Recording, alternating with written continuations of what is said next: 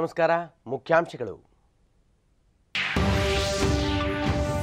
ಪಂಚಾಯತ್ ಮಟ್ಟದ ಆಡಳಿತ ಸುಧಾರಣೆಗೆ ಒತ್ತು, ಸಂಕಲ್ಪ ಸಪ್ತಾಹಕ್ಕೆ ಪ್ರಧಾನಿ ನರೇಂದ್ರ ಮೋದಿ ಚಾಲನೆ.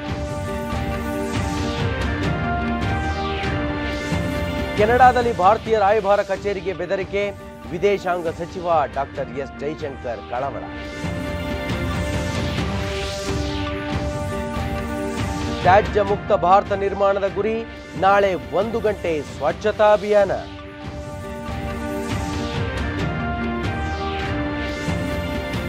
ಜಲ ವಿವಾದ ಪರಿಹಾರಕ್ಕೆ ಸಮಿತಿ ರಚನೆಗೆ ಸಲಹೆ.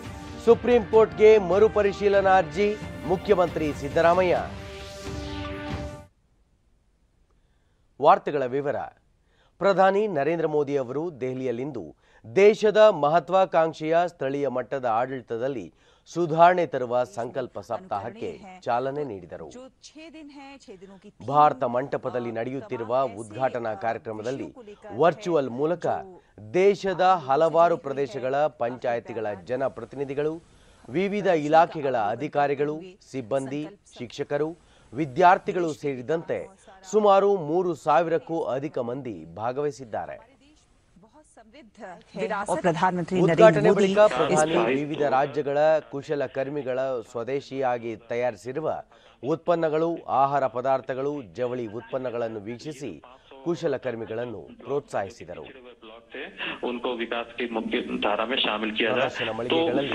ವಿವಿಧ ಉತ್ಪನ್ನಗಳ ಪ್ರಾತ್ಯಕ್ಷಿಕೆಗಳನ್ನು ವೀಕ್ಷಿಸಿ ಅವುಗಳ ಬಗ್ಗೆ ಮಾಹಿತಿ ಪಡೆದರು. जो की इंडिकेटर्स है जिसके तहत उनको अ, वो- उनके विकास की योजनाएं चलाई जा रही हैं ಬುಡಕಟ್ಟು तो इन- ಆದಿವಾಸಿ ಗುಡ್ಡಗಾಡು ಪ್ರದೇಶಗಳ ಗುಡಿ ಕೈಗಾರಿಕೆಗಳ ಉತ್ಪನ್ನಗಳ ಬಗ್ಗೆ ಪ್ರಧಾನಿ ಮೆಚ್ಚುಗೆ ವ್ಯಕ್ತಪಡಿಸಿದರು चेंज लॉन्च करें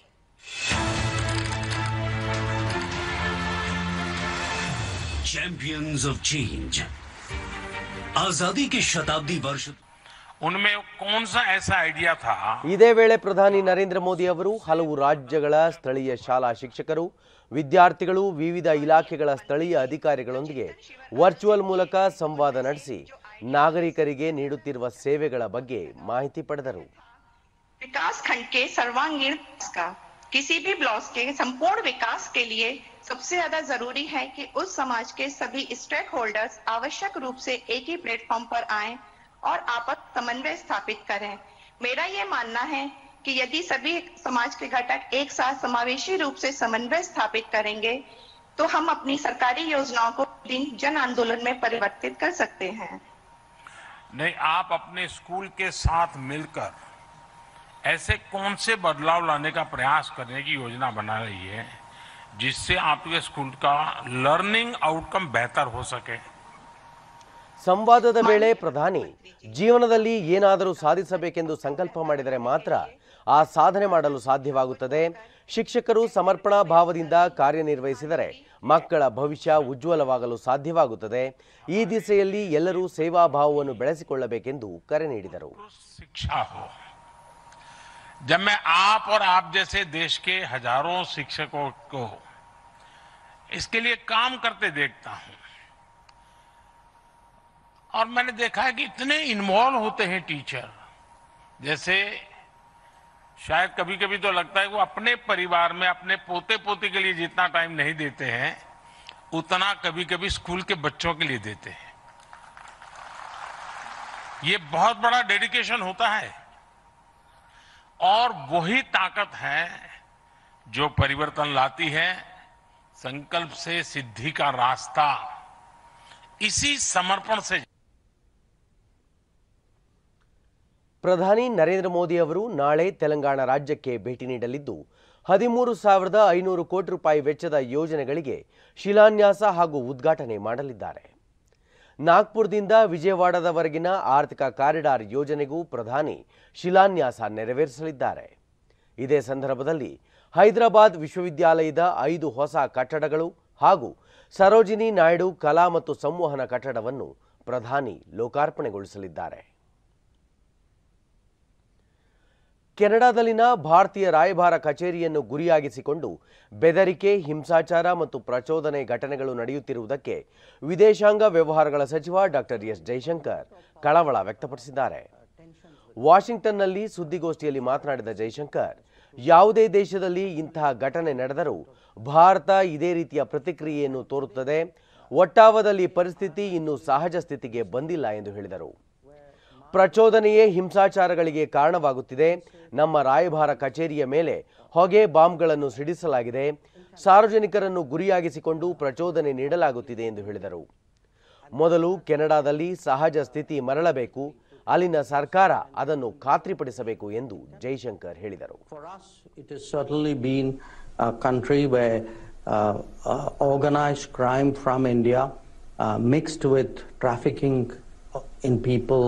uh, organized crime from India mixed with trafficking in people, mixed with secessionism, violence, terrorism. It's, it's a very uh, toxic combination uh, of issues and people uh, who have found uh, operating space there. Uh, so a lot of our uh, uh, tensions with Canada, uh, which well preceded what Mr. Trudeau said, actually come out of out of that. Uh, and today, uh, today I'm actually in a situation where my diplomats are unsafe going to the embassy uh, or to the consulates In Canada. in Canada. Uh, they are publicly intimidated.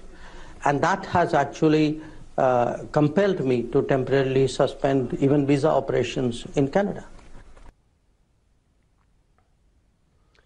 America ಪ್ರವಾಸದಲ್ಲಿರುವ ವಿದೇಶಾಂಗ ಸಚಿವ doctor S Jaishankar Washington ಡಿಸಿಯಲ್ಲಿ ಆಯೋಜಿಸಿದ್ದ ವಿಶ್ವ ಸಾಂಸ್ಕೃತಿಕ ಸಮ್ಮೇಳನದಲ್ಲಿ ಪಾಲ್ಗೊಂಡಿದ್ದರು. ಈ ವೇಳೆ ಅವರು ಪ್ರಸ್ತುತ ಸನ್ನಿವೇಶದಲ್ಲಿ ಜಗತ್ತಿನ ದೇಶಗಳು ಒಗ್ಗೂಡಿ ಸಮಗ್ರ ಅಭಿವೃದ್ಧಿ ಪರಿಕಲ್ಪನೆಯ ಪಥದಲ್ಲಿ ಸಾಗುವ ಅಗತ್ಯವಿದೆ. ಸಂಸ್ಕೃತಿ, ಸಂಪ್ರದಾಯ, ಪರಂಪರೆಗಳ ತಳಹದಿಯಲ್ಲಿ ನಾವು ಪ್ರಗತಿಯನ್ನು ಸಾಧಿಸಬಹುದಾಗಿದೆ ಎಂದರು.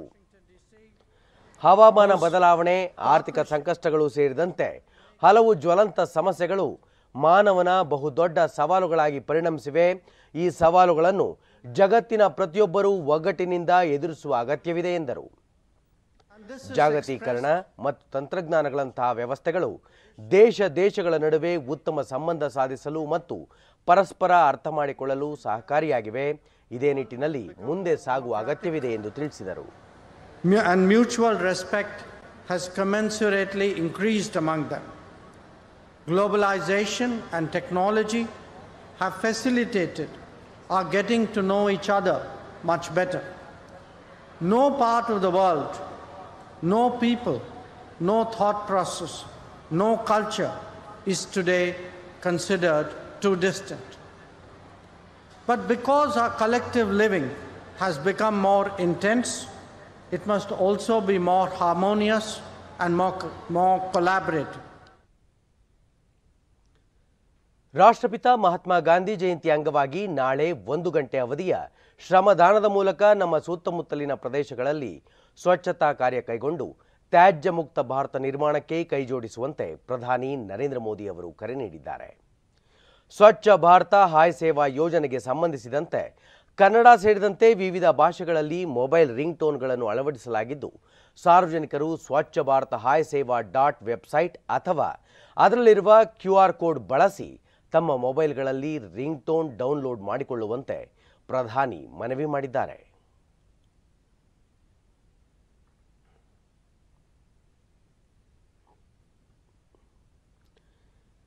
ತ್ಯಾಜ್ಯ ಮುಕ್ತ ಭಾರತ ನಿರ್ಮಾಣ ಮಾಡುವ ಸಂಕಲ್ಪದ ಸ್ವಚ್ಛ ಭಾರತ ಅಭಿಯಾನದ ಅನ್ವಯ ನಾಳೆ ದೇಶವಾಸಿಗಳೆಲ್ಲರೂ ಒಗ್ಗೂಡಿ ಒಂದು ಗಂಟೆ ಅವಧಿಯ ಶ್ರಮದಾನದಲ್ಲಿ ಪಾಲ್ಗೊಳ್ಳುವಂತೆ ಪ್ರಧಾನಿ ನರೇಂದ್ರ ಮೋದಿ ಕರೆ ನೀಡಿದ್ದಾರೆ. ಪ್ರತಿಯೊಬ್ಬರ ಜವಾಬ್ದಾರಿ ಹಂಚಿಕೆ ಮತ್ತು ಉತ್ತರದಾಯಿತ್ವ ಹೊಂದಿರುವ ವಿಶ್ವದ ಅತಿ ದೊಡ್ಡ ಅಭಿಯಾನದಲ್ಲಿ ದೇಶದ ನಗರ ಹಾಗೂ ಗ್ರಾಮೀಣ ಪ್ರದೇಶದ ಪ್ರತಿಯೊಬ್ಬ ಪ್ರಜೆಯು ಸಕ್ರಿಯವಾಗಿ ಪಾಲ್ಗೊಳ್ಳುವಂತೆ ಪ್ರಧಾನಿ ತಮ್ಮ ಸಂದೇಶದಲ್ಲಿ ಕರೆ ನೀಡಿದ್ದಾರೆ. ಸನ್ಮಾನ್ಯ ಪ್ರಧಾನಮಂತ್ರಿಯವರ ನೇತೃತ್ವದಲ್ಲಿ ಮತ್ತು ದೇಶದ ಸುಪ್ರಸಿದ್ಧ ಜನರ ಜೊತೆ ಸ್ವಚ್ಛತೆಯ ಈ ಅಭಿಯಾನದಲ್ಲಿ ಕೊಡುಗೆ ನೀಡಿ. ಎಲ್ಲರೂ ಜೊತೆ ಸೇರಿ ಸ್ವಚ್ಛಗೊಳಿಸೋಣ. ನಮ್ಮ ನಮ್ಮ ಓಣಿ ಮೊಹಲ್ಲಾಗಳನ್ನು ಪೂಜಾ ಕೊಠಡಿಯಿಂದ ಆರಂಭಿಸಿ ವಿದ್ಯಾಲಯದ ತನಕ, ರೈಲ್ವೆ ಸ್ಟೇಷನ್ನಿಂದ ರಸ್ತೆಗಳ ತನಕ. ನಿಮ್ಮ ಪರಂಪರೆಯ ಮೌಲ್ಯವನ್ನು ಹೆಚ್ಚಿಸಿ, ತ್ಯಾಜ್ಯದಿಂದ ಪರಿಸರವನ್ನು ಉಳಿಸಿ, ಸ್ವಚ್ಛತೆಯಿಂದ ಸಮೃದ್ಧಿ ತರೋಣ ಅಕ್ಟೋಬರ್ ಒಂದರಂದು ನಿಮ್ಮ ಮನೆಯ ಸುತ್ತಲೂ ನಡೆಯುತ್ತಿರುವ ಸ್ವಚ್ಛತಾ ಕಾರ್ಯಕ್ರಮಗಳ ಬಗ್ಗೆ ತಿಳಿದುಕೊಳ್ಳಲು ಮತ್ತು ಭಾಗವಹಿಸಲು ಸ್ವಚ್ಛತಾ ಹಿ ಸೇವಾ ಡಾಟ್ ಕಾಮ್ಗೆ ಭೇಟಿ ನೀಡಿ. ಸ್ವಚ್ಛತೆಯಲ್ಲಿ ತೊಡಗಿರುವ ನಿಮ್ಮ ಫೋಟೋಗಳು ಮತ್ತು ವಿಡಿಯೋಗಳನ್ನು ಹ್ಯಾಶ್ ಟ್ಯಾಗ್ ಸ್ವಚ್ಛ ಭಾರತ್ನೊಂದಿಗೆ ಅಪ್ಲೋಡ್ ಮಾಡಿ. ಆಗ ಇಡೀ ದೇಶ ಸ್ವಚ್ಛವಾಗುತ್ತದೆ. ಮತ್ತು ಇದುವೇ ಅಕ್ಟೋಬರ್ ಎರಡರಂದು ಗಾಂಧೀಜಿಯವರಿಗೆ ಸಲ್ಲಿಸುವ ನಮ್ಮ ನಿಜವಾದ ಗೌರವ. ಅಕ್ಟೋಬರ್ ಒಂದರಂದು ಒಂದು ಗಂಟೆಯ ಕಾಲ. ಬೆಳಗ್ಗೆ ಹತ್ತು ಗಂಟೆಯಿಂದ ಸ್ವಚ್ಛತೆಗಾಗಿ ಶ್ರಮದಾನ ಮಾಡಿ. ಮೆಗಾ ಸ್ವಚ್ಛತಾ ಅಭಿಯಾನಕ್ಕಾಗಿ ನಗರ ಮತ್ತು ಗ್ರಾಮೀಣ ಭಾರತದಿಂದ ಆರು ಲಕ್ಷದ ನಲವತ್ತು ಸಾವಿರ ಪ್ರದೇಶಗಳನ್ನು ದತ್ತು ತೆಗೆದುಕೊಳ್ಳಲಾಗಿದೆ ಎಂದು ವಸತಿ ಮತ್ತು ನಗರ ವ್ಯವಹಾರಗಳ ಸಚಿವ ಹರ್ದೀಪ್ ಸಿಂಗ್ ಪುರಿ ತಿಳಿಸಿದ್ದಾರೆ. ಸ್ವಚ್ಛತೆಯೇ ಸೇವೆ ಕುರಿತು ದೆಹಲಿಯಲ್ಲಿ ಮಾಧ್ಯಮಗಳೊಂದಿಗೆ ಸಂವಾದ ನಡೆಸಿದ ಅವರು, ರಾಷ್ಟ್ರದಾದ್ಯಂತ ಸುಮಾರು ಮೂವತ್ತೈದು ಸಾವಿರ ಅಂಗನವಾಡಿ ಕೇಂದ್ರಗಳನ್ನು ದತ್ತು ತೆಗೆದುಕೊಳ್ಳಲು ಗ್ರಾಮ ಸಮುದಾಯಗಳು ಮುಂದೆ ಬಂದಿವೆ ಎಂದರು. ಈ ರೀತಿಯ ಮೊದಲ ಉಪಕ್ರಮದಲ್ಲಿ ಸೇನೆ ನೌಕಾಪಡೆ ಮತ್ತು ವಾಯುಪಡೆಯ ಸಿಬ್ಬಂದಿ ಮೆಗಾ ಸ್ವಚ್ಛತಾ ಅಭಿಯಾನಕ್ಕೆ ನಾಗರಿಕರೊಂದಿಗೆ ಕೈಜೋಡಿಸಲಿದ್ದಾರೆ ಎಂದು ಅವರು ತಿಳಿಸಿದರು क्षेत्र को मिलाएं तो छह लाख चालीस हजार कार्यक्रम की सूचना हमारे पास ऑलरेडी है ये जो स्वच्छता का के लिए श्रमदान होगा एक घंटे के लिए मुझे पूरी उम्मीद है कि this will firmly entrench the message कि ये अब जन आंदोलन है ऑलरेडी है बट ये we are taking this now to a new level of people's participation. By 2nd October 2019, all states had become open defecation free except one state. That was a state in 2019. Today, that even that state is open defecation free. It is entirely possible that area declares open defecation free on the basis of third party verification. पर छह आठ महीने अगर वो ध्यान ना दें they could lose the status. So yes, I think by and large most areas are open defecation free. ಅಕ್ರಮ ವ್ಯಾಪಾರದಿಂದಾಗಿ ದೇಶದ ಆರ್ಥಿಕ ಬೆಳವಣಿಗೆಗೆ ಕುಂಠಿತವಾಗಲಿದೆ ಎಂದು ಕೇಂದ್ರ ವಾರ್ತಾ ಮತ್ತು ಪ್ರಸಾರ ಖಾತೆ ಸಚಿವ ಅನುರಾಗ್ ಸಿಂಗ್ ಠಾಕೂರ್ ಅಭಿಪ್ರಾಯಪಟ್ಟಿದ್ದಾರೆ ಭಾರತ ಆಫ್ರಿಕಾ ನಡುವೆ ಆರ್ಥಿಕ ಬೆಳವಣಿಗೆ ವೃದ್ಧಿಸಲು ಅಗತ್ಯ ಮಾರ್ಗೋಪಾಯ ಸೂತ್ರವನ್ನು ಜಂಟಿಯಾಗಿ ರೂಪಿಸಬೇಕಿದೆ. ಉಭಯ ದೇಶಗಳ ನಡುವೆ ಅಕ್ರಮ ವ್ಯಾಪಾರದಿಂದಾಗಿ ಐದು ಟ್ರಿಲಿಯನ್ ಡಾಲರ್ ಆರ್ಥಿಕ ಬೆಳವಣಿಗೆ ನಷ್ಟ ಉಂಟಾಗಲಿದೆ. ಇದನ್ನು ಸರಿಪಡಿಸಲು ಸಂಬಂಧಪಟ್ಟ ಅಧಿಕಾರಿಗಳು ಕಠಿಣ ನಿಲುವು ತೆಗೆದುಕೊಳ್ಳಬೇಕು ಎಂದು ಅವರು ತಿಳಿಸಿದರು. ನಾಗರಿಕ ಸಮಾಜದಲ್ಲಿ ಉತ್ತಮ ಬಾಂಧವ್ಯದ ಜೊತೆಗೆ ಆರ್ಥಿಕ ಬೆಳವಣಿಗೆಗೆ ಪೂರಕವಾದ ವಾತಾವರಣವನ್ನು ನಿರ್ಮಾಣ ಮಾಡಬೇಕಿದೆ. ಈ ನಿಟ್ಟಿನಲ್ಲಿ ಅಗತ್ಯ ಸುಧಾರಣಾ ಕ್ರಮಗಳನ್ನು ಅಳವಡಿಸುವ ಮೂಲಕ ದ್ವಿಪಕ್ಷೀಯ ವ್ಯಾಪಾರ ಬಲವರ್ಧನೆಗೆ ಸರಳ ಸೂತ್ರವನ್ನು ಕಂಡುಹಿಡಿಯಬೇಕು ಎಂದು ಸಚಿವರು ಪ್ರತಿಪಾದಿಸಿದರು stringent measures to combat illicit trade at its roots. Under the able leadership of Prime Minister Modi, has enacted laws that not only align with our international commitment, but also exhibit a progressive outlook. However, given the intricate and alarming expansion of this illicit trade, it underscores the need of enhanced intergovernmental collaborations and public-private partnerships to formulate a comprehensive strategy. ಮಕ್ಕಳ ಮೇಲಿನ ಲೈಂಗಿಕ ದೌರ್ಜನ್ಯ ತಡೆ ಕಾಯ್ದೆ POCSO ಅಡಿ ಹಾಲಿ ಇರುವ ಮಕ್ಕಳ ವಯಸ್ಸಿನ ಮಿತಿಯನ್ನು ಹಾಗೆಯೇ ಉಳಿಸಿಕೊಳ್ಳಲು ಇಪ್ಪತ್ತೆರಡನೇ ಕಾನೂನು ಆಯೋಗ ಕೇಂದ್ರ ಸರ್ಕಾರಕ್ಕೆ ಶಿಫಾರಸು ಮಾಡಿದೆ. ಬಾಲ್ಯ ವಿವಾಹ ಮತ್ತು ಮಕ್ಕಳ ಕಳ್ಳ ಸಾಗಣೆ ವಿರುದ್ಧ ಹೋರಾಡಲು ಹಾಗೂ ಅವುಗಳ ಪರಿಣಾಮಗಳನ್ನು ತಡೆಯಲು ಇದು ಅಗತ್ಯ ಎಂದು ಆಯೋಗ ತನ್ನ ವರದಿಯಲ್ಲಿ ತಿಳಿಸಿದೆ.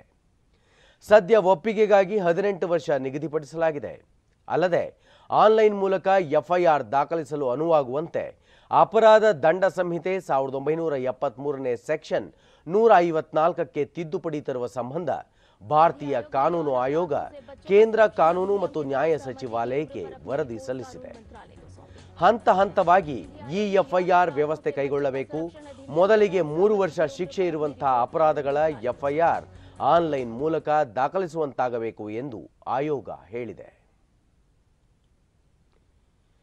ಸಂಸತ್ತಿನ ವಿಶೇಷ ಅಧಿವೇಶನದಲ್ಲಿ ಅಂಗೀಕರಿಸಲ್ಪಟ್ಟ ಮಹಿಳಾ ಮೀಸಲಾತಿ ಮಸೂದೆಗೆ ರಾಷ್ಟ್ರಪತಿ ದ್ರೌಪದಿ ಮುರ್ಮು ಅವರು ಅಂಕಿತ ಹಾಕಿದ್ದಾರೆ. ಭಾರತದ ಶಾಸನ ಸಭೆಗಳಲ್ಲಿ ಮಹಿಳೆಯರಿಗೆ ಶೇಕಡಾ ಮೂವತ್ತ್ಮೂರರಷ್ಟು ಮೀಸಲಾತಿ ಕಲ್ಪಿಸುವ ಮಸೂದೆ ಇದಾಗಿದೆ. ಕಳೆದ ಗುರುವಾರ ಉಪರಾಷ್ಟ್ರಪತಿ ಮತ್ತು ರಾಜ್ಯಸಭಾ ಅಧ್ಯಕ್ಷ ಜಗದೀಪ್ ಧನ್ಕರ್ ಅವರು ಮಸೂದೆಗೆ ಸಹಿ ಹಾಕಿದ್ದರು. ಈಗ ರಾಷ್ಟ್ರಪತಿಗಳ ಅಂಕಿತ ಬಿದ್ದಿರುವ ಹಿನ್ನೆಲೆಯಲ್ಲಿ ನಾರಿ ಶಕ್ತಿ ವಂದನಾ ಅಧಿನಿಯಮ ಎಂಬ ಹೆಸರಿನಲ್ಲಿ ಕಾನೂನಾಗಿ ಜಾರಿಗೆ ಬರಲಿದೆ. ಮಿಲಿಟರಿ ಪಡಿತರ ಮತ್ತು ನಿರ್ದಿಷ್ಟ ಪೌಷ್ಟಿಕಾಂಶಗಳ ಅವಶ್ಯಕತೆಗಾಗಿ ಸಿರಿಧಾನ್ಯಗಳ ರಾಷ್ಟ್ರೀಯ ಸಮ್ಮೇಳನ ಮೈಸೂರಿನಲ್ಲಿ ನಿನ್ನೆ ನಡೆಯಿತು. ಕೇಂದ್ರ ರಕ್ಷಣಾ ಮತ್ತು ಪ್ರವಾಸೋದ್ಯಮ ಇಲಾಖೆ ರಾಜ್ಯ ಸಚಿವ ಅಜಯ್ ಭಟ್ ಸಮ್ಮೇಳನ ಉದ್ಘಾಟಿಸಿದರು. ರಕ್ಷಣಾ ಇಲಾಖೆಯ ಕಾರ್ಯದರ್ಶಿ ಡಾಕ್ಟರ್ ಸಮೀರ್ ವಿ. ಕಾಮತ್, ವಿಜ್ಞಾನಿ ಪ್ರೊಫೆಸರ್ ಕಾದರ್ವಲ್ಲಿ ರಕ್ಷಣಾ ಆಹಾರ ಸಂಶೋಧನಾಲಯ ಪ್ರಯೋಗಾಲಯದ ನಿರ್ದೇಶಕ ಡಾಕ್ಟರ್ ಅನಿಲ್ ದತ್ ಸೇಮ್ವಾಲ್ ಉಪಸ್ಥಿತರಿದ್ದರು. ಇದೇ ಸಂದರ್ಭದಲ್ಲಿ ಸಿರಿಧಾನ್ಯ ಕುರಿತ ಕಿರುಹೊತ್ತಿಗೆ ಬಿಡುಗಡೆ ಮಾಡಲಾಯಿತು. ಇದೇ ವೇಳೆ ಸಿರಿಧಾನ್ಯ ಸಂಶೋಧನೆಯಲ್ಲಿ ಸಾಧನೆ ಮಾಡಿದ ವಿಜ್ಞಾನಿಗಳಿಗೆ ಸಚಿವರು ಪ್ರಶಸ್ತಿ ಪ್ರದಾನ ಮಾಡಿದರು. ಬಳಿಕ ಸಚಿವ ಅಜಯ್ ಭಟ್, ಸಿರಿಧಾನ್ಯ ಸೇರಿದಂತೆ ಸಾವಯವ ಪದಾರ್ಥಗಳ ಉತ್ಪಾದನೆಗೆ ಕೇಂದ್ರ ಸರ್ಕಾರ ಹೆಚ್ಚು ಒತ್ತು ನೀಡಿದೆ. ಸಿರಿಧಾನ್ಯಗಳಲ್ಲಿ ಔಷಧ ಗುಣವಿರುವುದರಿಂದ ಗಡಿ ಕಾಯುವ ಸೈನಿಕರ ಆಹಾರದಲ್ಲಿ ಇದನ್ನು ಬಳಸಲು ಮುಂದಾಗಿದ್ದೇವೆ. ರಕ್ತದೊತ್ತಡ ಹಾಗೂ ಮಧುಮೇಹಿಗಳು ಹೆಚ್ಚು ಸಿರಿಧಾನ್ಯ ಉಪಯೋಗಿಸುವುದರಿಂದ ಆರೋಗ್ಯ ಕಾಪಾಡಿಕೊಳ್ಳಲು ಸಾಧ್ಯವಿದೆ ಎಂದು ಅಭಿಪ್ರಾಯಪಟ್ಟರು बता रहा हूँ कि मिलेट की ताकत क्या होती है तो आ, कहते थे फलाने के पिताजी ने ये वाला पत्थर ऐसे पकड़ के अंग्रेज जब आए क्यों उठा के फेंका तो सब लोग देखने जाते हैं उस पत्थर को ये वाला पत्थर कैसे उठाइए ये तो वेट लिफ्टर भी नहीं थे इसे उठा भी नहीं सकते बड़ा भारी पत्थर है ऐसे चलता है उन्होंने कहा, ऐसे हाथ डाला और यूँ लाए, यूँ ला के यूँ डाल दिया और अंग्रेज़ लोग हिल गए थे। और उनसे सब डरते थे लोग, और वो फेंकते था। तो खाते क्या थे? मैंने वैसे जिज्ञासा बस पूछा, मैंने कहा, यार, उस समय के लोग खाते क्या थे? कुछ खाते ताकतवर चीज़ होती थी। उन्होंने कहा, क्या होता था यार? ये मडुआ वहाँ हमारी लोकल भाषा में रागी को मडुआ बोलते ये मडुआ जुनरा बहुत कुछ है। और बहुत से बहुत फ़ायदे दूध दही जो गाँव में जंगलों में ले जाते गाय पालने बस वो छाछ फांस ये पी लिया और उसी की हमारे वहाँ झोली कहते हैं कड़ी को कड़ी बना के ले लिया भाई यही है और कुछ नहीं बाकी खेतों में लहसुन प्याज धनिया पुदीना ये हम जो लगाते हैं ये पैदा करते हैं पर यही है हमारे पास ಕಾವೇರಿ ಮಹದಾಯಿ ಸೇರಿದಂತೆ ಅಂತಾರಾಜ್ಯ ಜಲ ವಿವಾದಕ್ಕೆ ಸಂಬಂಧಿಸಿ ಸಲಹಾ ಸಮಿತಿ ರಚನೆಗೆ ಕಾನೂನು ತಜ್ಞರು ಸಲಹೆ ನೀಡಿರುವುದಾಗಿ ಮುಖ್ಯಮಂತ್ರಿ ಸಿದ್ದರಾಮಯ್ಯ ಬೆಂಗಳೂರಿನಲ್ಲಿ ನಿನ್ನೆ ತಿಳಿಸಿದ್ದಾರೆ. ತಮಿಳುನಾಡಿಗೆ ಮುಂದಿನ ಹದಿನೆಂಟು ದಿನಗಳ ಕಾಲ ಮತ್ತೆ ಮೂರು ಸಾವಿರ ಕ್ಯೂಸೆಕ್ ನೀರು ಹರಿಸಬೇಕೆಂಬ ಕಾವೇರಿ ನೀರು ನಿರ್ವಹಣಾ ಪ್ರಾಧಿಕಾರದ ಸೂಚನೆ ಬೆನ್ನಲ್ಲೇ ಕಾನೂನು ತಜ್ಞರೊಂದಿಗೆ ಸಭೆ ನಡೆಸಿದ ಬಳಿಕ ಸುದ್ದಿಗಾರರೊಂದಿಗೆ ಅವರು ಆದೇಶಕ್ಕೆ ಸಂಬಂಧಿಸಿ ಪ್ರಾಧಿಕಾರ ಹಾಗೂ ಸುಪ್ರೀಂ ಕೋರ್ಟ್ಗೆ ಮರುಪರಿಶೀಲನಾ ಅರ್ಜಿ ಸಲ್ಲಿಸಲಾಗುವುದು ಎಂದರು. ಸಭೆಯಲ್ಲಿ ನಿವೃತ್ತ ನ್ಯಾಯಾಧೀಶರು ಹಾಗೂ ಕಾನೂನು ತಜ್ಞರು ಅತ್ಯುತ್ತಮ ಸಲಹೆ ನೀಡಿದ್ದು ಮೇಕೆದಾಟು ಯೋಜನೆ ಅನುಷ್ಠಾನಗೊಂಡಲ್ಲಿ ರಾಜ್ಯದ ನೀರಿನ ಸಮಸ್ಯೆ ಬಹುತೇಕ ಬಗೆಹರಿಯಲಿದೆ. ಈ ಯೋಜನೆಯಿಂದ ತಮಿಳುನಾಡಿಗೆ ನೀರಿನ ಹರಿವಿಗೆ ಯಾವುದೇ ತೊಂದರೆಯಾಗುವುದಿಲ್ಲ ಎಂದು ತಜ್ಞರು ತಿಳಿಸಿರುವುದಾಗಿ ಮುಖ್ಯಮಂತ್ರಿ ಮಾಹಿತಿ ನೀಡಿದರು. ಕಾವೇರಿ ನದಿ ನೀರು ಪ್ರಾಧಿಕಾರದ ಮುಂದೆ ರಾಜ್ಯದ ಅಧಿಕಾರಿಗಳು ವಸ್ತುಸ್ಥಿತಿಯನ್ನು ಮಂಡಿಸಲಿದ್ದಾರೆ ಎಂದರು.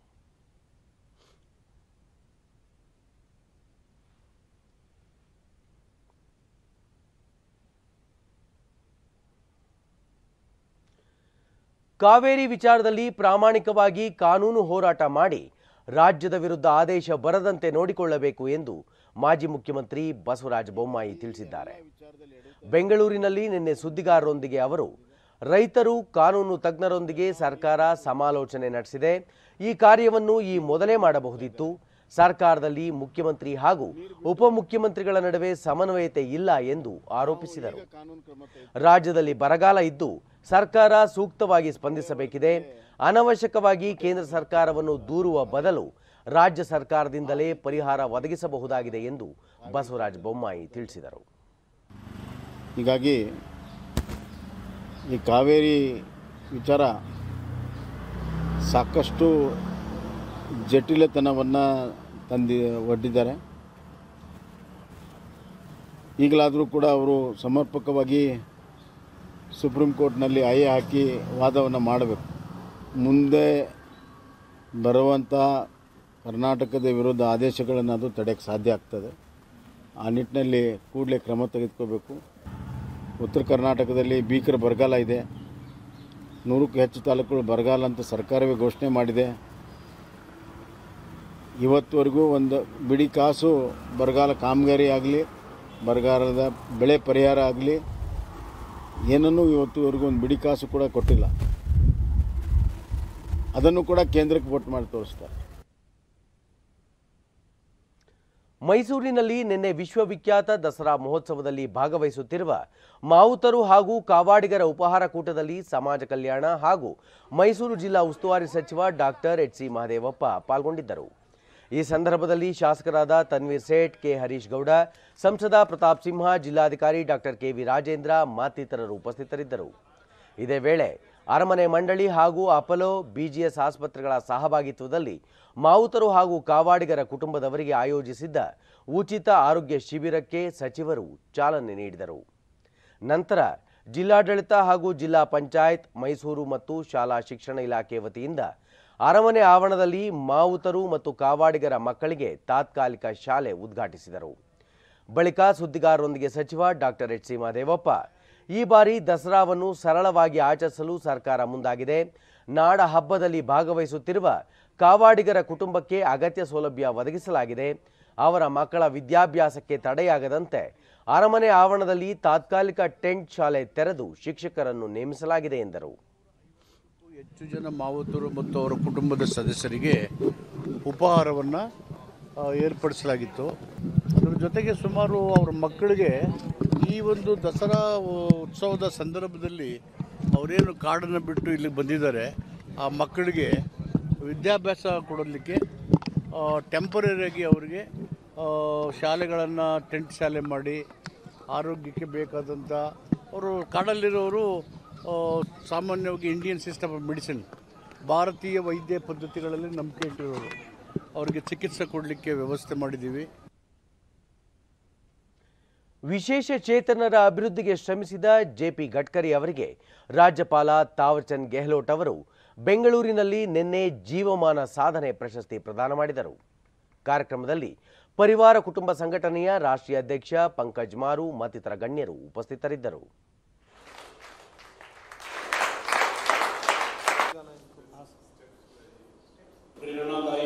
ಬಳಿಕ ರಾಜ್ಯಪಾಲ ತಾವಚಂದ್ ಗೆಹ್ಲೋಟ್ ವಿಶೇಷ ಚೇತನರ ಸಬಲೀಕರಣ ಮತ್ತು ಪುನರ್ವಸತಿಗಾಗಿ ತಮ್ಮ ಜೀವನವನ್ನು ಮುಡಿಪಾಗಿಟ್ಟ ವ್ಯಕ್ತಿಯನ್ನು ಗೌರವಿಸುತ್ತಿರುವುದು ಸಂತಸ ತಂದಿದೆ. ಇಳಿ ವಯಸ್ಸಿನಲ್ಲೂ ಜೆಪಿ ಗಡ್ಕರಿ ಈ ಕಾರ್ಯದಲ್ಲಿ ತೊಡಗಿಕೊಂಡಿರುವುದು ಶ್ಲಾಘನೀಯ ಎಂದರು. ವಿಶೇಷ ಚೇತನರ ಸಬಲೀಕರಣಕ್ಕೆ ಸರ್ಕಾರ ಹಲವು ಯೋಜನೆಗಳನ್ನು ಜಾರಿಗೆ ತಂದಿದೆ. ಅವರು ಮಾನವ ಸಂಪನ್ಮೂಲದ ಅವಿಭಾಜ್ಯ ಅಂಗವಾಗಿದ್ದು, ಅಂಥವರನ್ನು ಮುಖ್ಯ ವಾಹಿನಿಗೆ ತರುವುದು ಪ್ರತಿಯೊಬ್ಬರ ಜವಾಬ್ದಾರಿ ಸಬ್ಕಾ ಸಾಥ್ ಸಬ್ಕಾ ವಿಕಾಸ್ ಸಬ್ಕಾ ವಿಶ್ವಾಸ್ ಸಬ್ಕಾ ಪ್ರಯಾಸ್ ಎಂಬ ಮಂತ್ರವನ್ನು ಸಾಕಾರಗೊಳಿಸುತ್ತಿರುವುದು ಉತ್ತಮ ಕೆಲಸ ಎಂದರು जिसकी शाखाएं देश के 31 राज्यों में संचालित हो रही है और वो दिव्यांगजनों के सशक्तिकरण के लिए सक्रिय प्रयास कर रहे हैं ಪ್ರಶಸ್ತಿ ಸ್ವೀಕರಿಸಿದ ಜೆಪಿ ಗಡ್ಕರಿ ವಿಶೇಷ ಚೇತನರಿಗೆ ಇರುವ ಅನೇಕ ಯೋಜನೆಗಳನ್ನು ಸದ್ಬಳಕೆ ಮಾಡಿಕೊಳ್ಳುವ ಅಗತ್ಯವಿದೆ ಎಂದು ಕರೆ ನೀಡಿದರು सभी मेरे इतने नजदीकी दोस्त है और उनके साथ ऐसे रिश्ते हैं कि हर एक का नाम लेना मेरे लिए जरूरी नहीं है हालांकि मेरे बच्चे के साथ में मैंने जितने ऐसे बच्चे हैं या इस तरीके की जिनकी समस्याएं हैं उनके लिए काम किया जिंदगी भर और अ, उसके लिए मुझे अभिमान है मैं सोचता हूँ लेकिन मुझे- मेरे दिल में ये भी ख्याल आता है ನೂರ ಐವತ್ತೈದು ಅಗ್ನಿವೀರರ ತಂಡದ ಪ್ರಶಿಕ್ಷಣಾರ್ಥಿಗಳ ನಿರ್ಗಮನ ಪಥಸಂಚಲನ ಬೆಂಗಳೂರಿನ ಎಎಸ್ಸಿ ಕೇಂದ್ರ ಐಎಟಿಸಿಯಲ್ಲಿಂದು ನಡೆಯಿತು ಎಎಸ್ಸಿ ಕೇಂದ್ರ ಐಎಟಿಸಿಯ commandant brigadier T S Mann ಅಗ್ನಿವೀರರ ತಂಡದಿಂದ ಗೌರವ ವಂದನೆ ಸ್ವೀಕರಿಸಿದರು मैं आपको सेना से सत्रह अठारह सौ तिरासी अग्निवीर मोहित के सरवानी उन्नीस सौ इक्यानवे में स्थानों की सेवा का सम्मान सेना सेवा कोर का मेरिट के निरीक्षण अधिकारी पांच ರಾಷ್ಟ್ರಕ್ಕೆ ಅವರ ಬದ್ಧತೆಯನ್ನು दूसरे नंबर ಅಭಿನಂದಿಸುವ पर ಸಲುವಾಗಿ अग्निवीर ಅಗ್ನಿವೀರರಿಗೆ ಗೌರವ ಪದಕವನ್ನು ವಿತರಿಸಲಾಯಿತು नंबर छह तीसरे नंबर पर अग्निवीर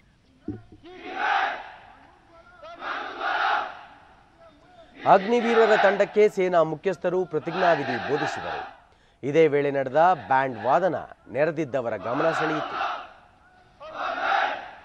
परेड के अग्रणीय दस्ते से पहले आज के परेड कमांडर अग्निवीर मोहित के सरवानी मुख्य अतिथि को सलामी ಬಳಿಕ ಟಿಎಸ್ ಮಾನ್ ಅಗ್ನಿವೀರರ ತಂಡ ತರಬೇತಿ ಮುಗಿಸಿ ಸೈನಿಕ ಜೀವನ ಆರಂಭಿಸಲು ಸನ್ನದ್ಧವಾಗಿದೆ ಪ್ರಶಿಕ್ಷಣಾರ್ಥಿಗಳು ನಿಷ್ಠೆ ಹಾಗೂ ಕರ್ತವ್ಯ ಪ್ರೇರಣೆಯಿಂದ ಕಾರ್ಯನಿರ್ವಹಿಸುವ ವಿಶ್ವಾಸವಿದೆ ಯಾವುದೇ ಜಾತಿ ಧರ್ಮ ಭೇದವಿಲ್ಲದೆ ಸೇವೆ ಸಲ್ಲಿಸುವ ಭಾರತೀಯ ಸೇನೆ ನಮ್ಮ ಹೆಮ್ಮೆಯಾಗಿದೆ ನಿಮಗೆಲ್ಲರಿಗೂ ದೇಶ ಸೇವೆ ಮಾಡಲು ಒಂದು ಅವಕಾಶ ಸಿಕ್ಕಿದೆ ಹಾಗಾಗಿ ನಿಮಗೆ ಹಾಗೂ ನಿಮ್ಮ ಕುಟುಂಬಸ್ಥರಿಗೆ ಶುಭಾಶಯಗಳನ್ನು ತಿಳಿಸುವುದಾಗಿ ಹೇಳಿದರು कि आप सेना सेवा कोर में पूरी निष्ठा लगन एवं कर्तव्य प्राणता से कार्य करेंगे और भारतीय सेना की गौरवपूर्ण परंपराओं का पालन करते हुए अपना देश एवं अपनी कोर का नाम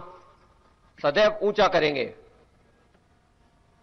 भारतीय सेना एक ऐसी संस्था है जो भारत के विभिन्न प्रांतों संस्कृतियों धर्मों और जातियों को एक सूत्र में बांधकर सब भेदभाव मिटाती है ಕೊನೆಯಲ್ಲಿ ಮತ್ತೊಮ್ಮೆ ಮುಖ್ಯಾಂಶಗಳು ಪಂಚಾಯತ್ ಮಟ್ಟದ ಆಡಳಿತ ಸುಧಾರಣೆಗೆ ಒತ್ತು ಸಂಕಲ್ಪ ಸಪ್ತಾಹಕ್ಕೆ ಪ್ರಧಾನಿ ನರೇಂದ್ರ ಮೋದಿ ಚಾಲನೆ. ಕೆನಡಾದಲ್ಲಿ ಭಾರತೀಯ ರಾಯಭಾರ ಕಚೇರಿಗೆ ಬೆದರಿಕೆ, ವಿದೇಶಾಂಗ ಸಚಿವ ಡಾಕ್ಟರ್ ಎಸ್. ಜೈಶಂಕರ್ ಕಳವಳ.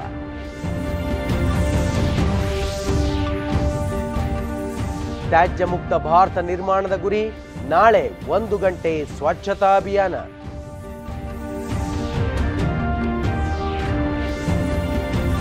ಜಲ ವಿವಾದ ಪರಿಹಾರಕ್ಕೆ ಸಮಿತಿ ರಚನೆಗೆ ಸಲಹೆ. ಸುಪ್ರೀಂ ಕೋರ್ಟ್ಗೆ ಮರುಪರಿಶೀಲನಾ ಅರ್ಜಿ, ಮುಖ್ಯಮಂತ್ರಿ ಸಿದ್ದರಾಮಯ್ಯ. ನಮ್ಮ ವಾರ್ತಾ ಪ್ರಸಾರವನ್ನು ನೀವು ಡಿಡಿ ಚಂದನ ನ್ಯೂಸ್ ಯೂಟ್ಯೂಬ್ ಚಾನೆಲ್ನಲ್ಲೂ ವೀಕ್ಷಿಸಬಹುದು. ನಮ್ಮ ಮುಂದಿನ ವಾರ್ತಾ ಪ್ರಸಾರ ಮಧ್ಯಾಹ್ನ ಒಂದು ಗಂಟೆಗೆ. ನಮಸ್ಕಾರ.